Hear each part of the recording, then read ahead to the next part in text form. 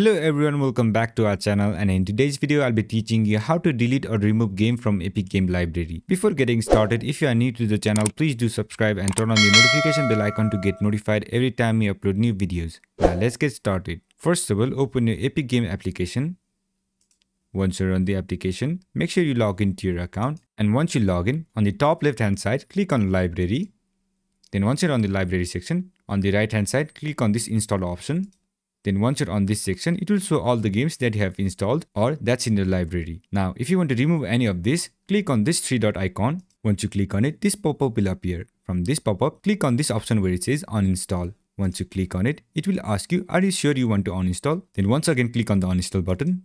Once you do that, the uninstalling process will start. And once the process is completed, the application will be removed from your library. You can follow the same method to delete other applications too. I'll show you once again. So click on this three dot icon then once this menu pops up, click on the uninstall button. Again click on uninstall. Then the application will be uninstalled. So this is how you do it. I hope this video was helpful and if it was, don't forget to leave a like, comment and subscribe and turn on the notification bell icon to get notified every time we upload new videos and I'll catch you on the next one.